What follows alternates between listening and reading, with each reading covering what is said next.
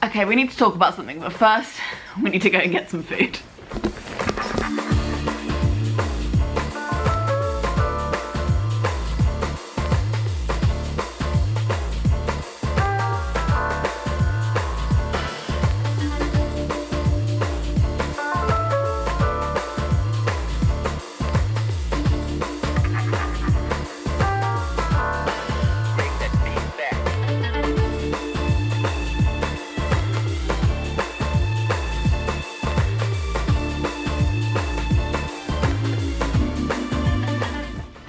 Right, I'm here to admit that I was wrong. And God knows nobody can do that on an empty stomach. Hello and welcome to the mukbang. So I've always known that meat probably wasn't the best for the planet. I think sometimes we all like to pretend that this is new information, but I've known for a while and I had a lot of hesitations that were thoroughly unresearched. Like I made a big effort not to research those things and probably made a few of my vegetarian and vegan friends feel quite awkward in the process. But cutting down on my meat consumption was on my 40 before 40 list. If you want to watch that, it's up here. Uh, and at the beginning of 2020, I gave up eating meat. Thank you.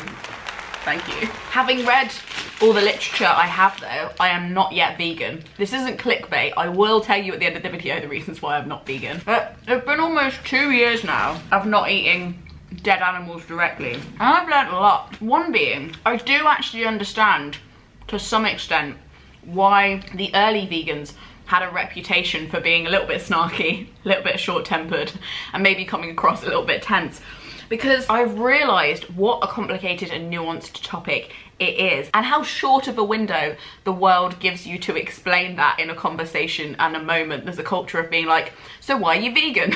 and it's goddamn not possible to explain the meat industry and the systemic lies in 30 to 40 seconds. And so I do understand some of the animosity and also this video isn't here to persuade you. I have not got all of the information and I just wanted to share how I have been feeling about giving up meat and whether I am progressing to a vegan diet because I know that the new year is coming up and it's something that people might be thinking about. So I'm just gonna share my thoughts, my feelings, my experiences, and we're gonna have a chat and maybe not wreck this hotel bed. Maybe. Now this isn't a video to persuade you in any way. This is a video for me to share all of the reasons why I wasn't vegetarian or vegan before and why I now find those incredibly unconvincing past me. First reason was, I didn't know any vegans, but I felt like I wouldn't like them if I met them. now this is talking like 19 year old me probably, but it's true. I think when you don't know anyone and it's not within your realms of observable habits, it's a weird thing and it's one of those hard things to talk about because it's not a personal choice in the same way that oh I just prefer wearing purple to pink. It's oh I don't like eating meat. Why don't you like eating meat? Because I I believe that it's wrong. So you believe what I'm doing is wrong?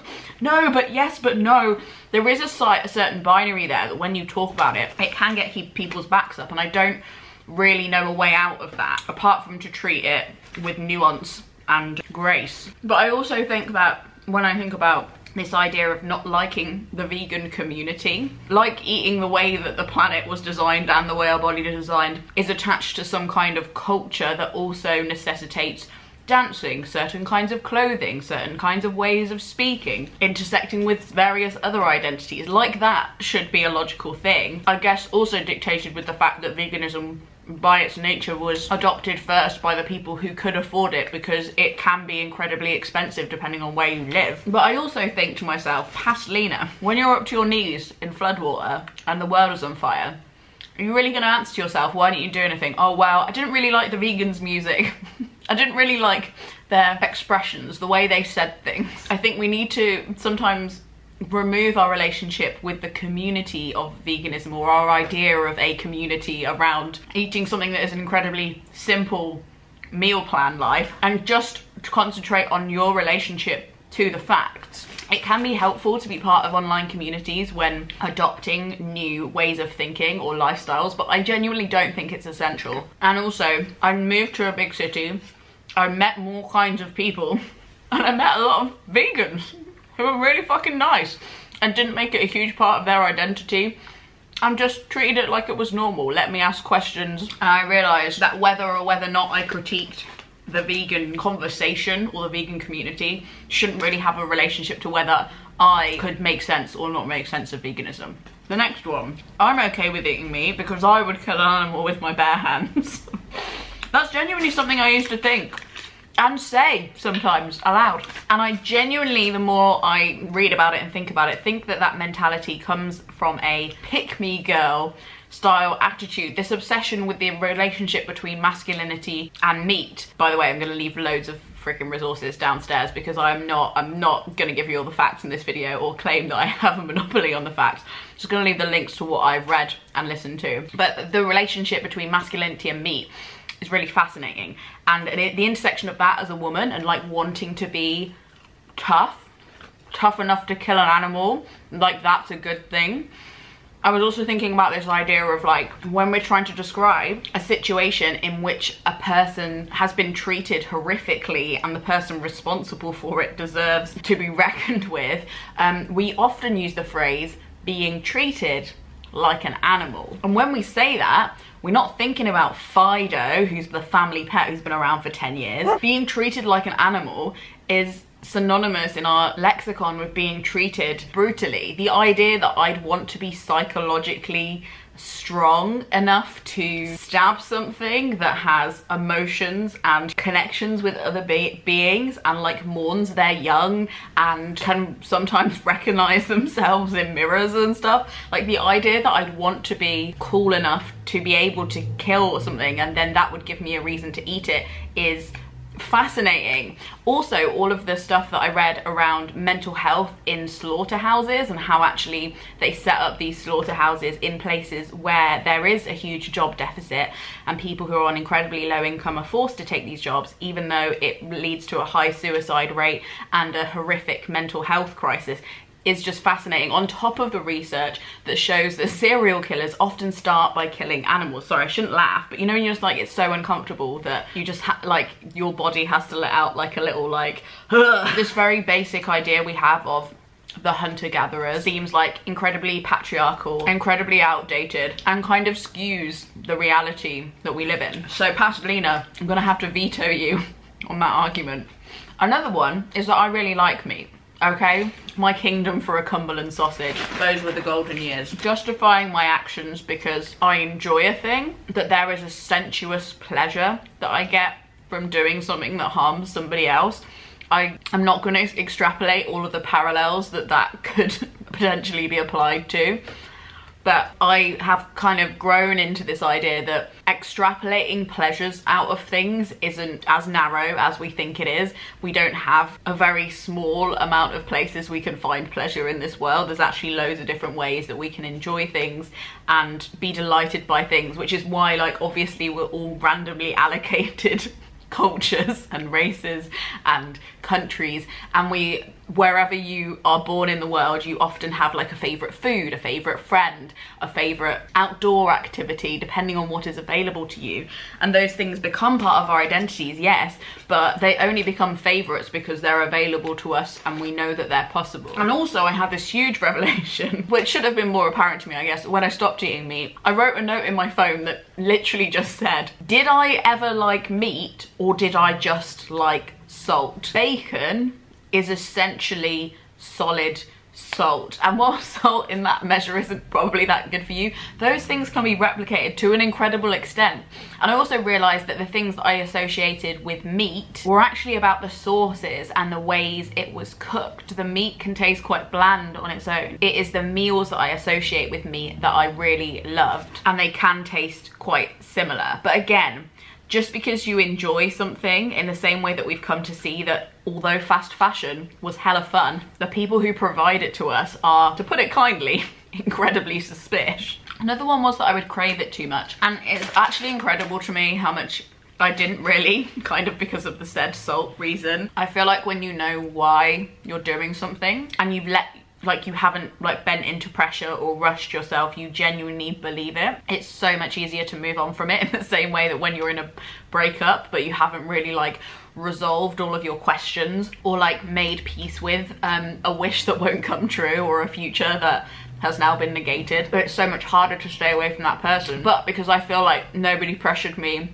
nobody rushed me, and I really came to it on my own. I had a chance to look up all the answers to the questions that I had. And boy were they easy to find. And boy were they thorough. And I also thought that it would be more awkward. And I feel like maybe the world has moved on a lot from when I was like 19 but now when I say oh I don't eat meat I'm vegetarian nobody goes like oh quirky.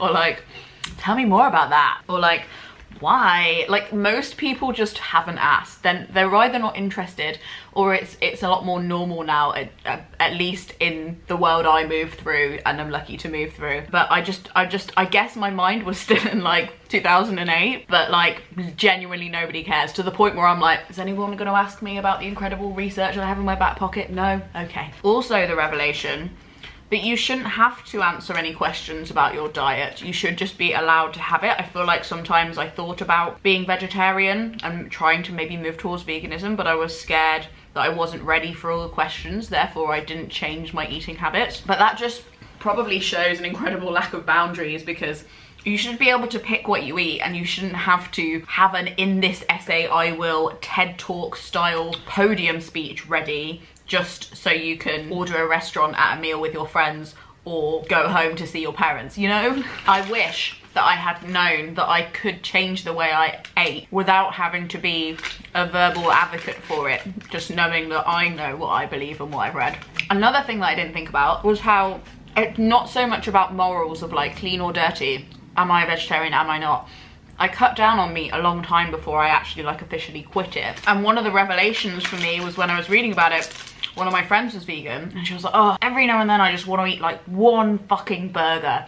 Just one fucking burger. And I was like, well, mate, it's not about identity, it's about impact. So if there's one day a year where you want to eat a burger, give me a call, let me know, and I, a meat eater, won't eat any meat that day and the planet will have been impacted the same and I didn't it didn't come to this but I think it would have been cool that if I was you know earlier in my 20s and I was hesitant about giving up animal products being able to like buddy with somebody and being like okay between us between the two of us we're gonna eat one vegan diet.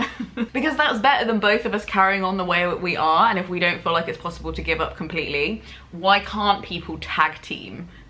Explain that to me. Another thing I didn't predict about giving up meat was how much calmer it made me feel. And I've talked before about how massive policy change, big systemic shifts are needed, but taking on individual changes and inconveniences can, one, change the conversation and the consumer demand with those of us able to do it, but also just internally align ourselves a little bit more. Like, again, I just felt like every time I ate meat, I was gaslighting myself because I knew what the truth was and I knew what was actually going on in the world. But every time I sat down for a meal, I was like, switch it off. You imagine that. You didn't need to that. No, that's not for you. And so living more in line with reality makes me feel better. In the same way that when you break up with a person who you know is never going to be right for you even though they give you the tinglies still feels better even though you're devastated because you know you're living in closer alignment with reality. It just, for some reason, it made me feel calm. I can't explain it. So Leena, if you're so passionate about this thing, why aren't you a vegan?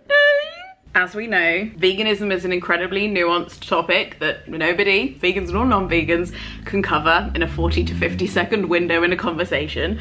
And one of the nuances is that not everybody can do it. People have health things. A small amount of people, but people do. People have body issue things around meals and hard and fast rules and control. People also have access issues and financial issues. And it's only ever you, I think, who's gonna be able to honestly say, could I be vegan? And where my life intersects with those things, I'm definitely coming towards a point where I think that in the future I could be, but I'm also trying to not scare off the moody teenager in myself who's gonna throw their, their like toys out of the pram and be like, no, this is too expensive, this is too much hassle, this is ruining my relationship with food and the body that I've been trying to heal for decades, I'm not doing it anymore.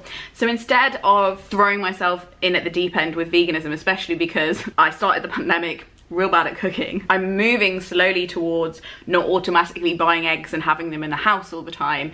Um, I only drink plant-based milks most of the time. When I'm out and I'm grabbing a sandwich, the rule in my head is if there is a vegan sandwich available, I have to buy it. And when we go out for food, unless it's pizza, if because the vegan pizzas, oh my god, somebody needs to be written up for that shit. That is a crime against humanity. Anyway, if I'm out and there is a vegan option on the menu, I need to pick it or at least seriously seriously consider it. I guess my concept is learn meals, not rules, and moving every meal towards being less animal focused is the plan. When I learn a new meal that I can cook at home, which goddamn takes me a long time, I am not a natural chef, it, I usually try and make it a vegan dish so that I can, instead of being like, oh, I now have to eat vegan and then I get to like dinner time and I'm really hangry and I just need to make something and I have no idea how to make vegan food. I'm more trying to make my automatic, I'm exhausted, I just need to make something meals vegan in my head. And I'm learning that there's loads of conversations happening outside of the strict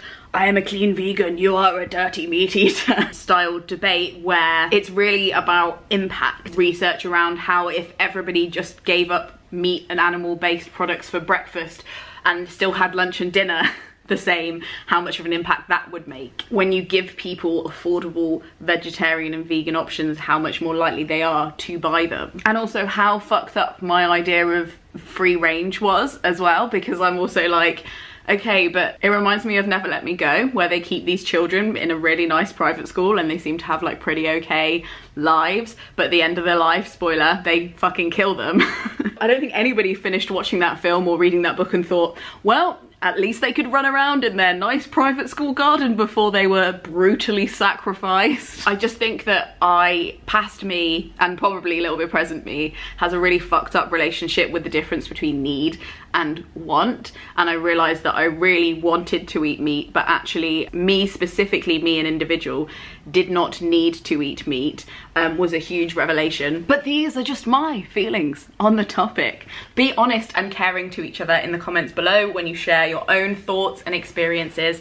Um, I'm gonna leave loads of resources of things that I have been using to learn about all this, but I am here to be the visual record of somebody who is not perfect and is still working it the hell out. Um, but thank you so much for watching. Um, here are some more videos I think you might like if you liked this one. I have a whole series on positive panic and the climate, which is specifically designed to make you not panic, but still take action. It's here. Thank you so much for watching. Make sure you subscribe and stick around because I'd like to see you here again. Frog Snog.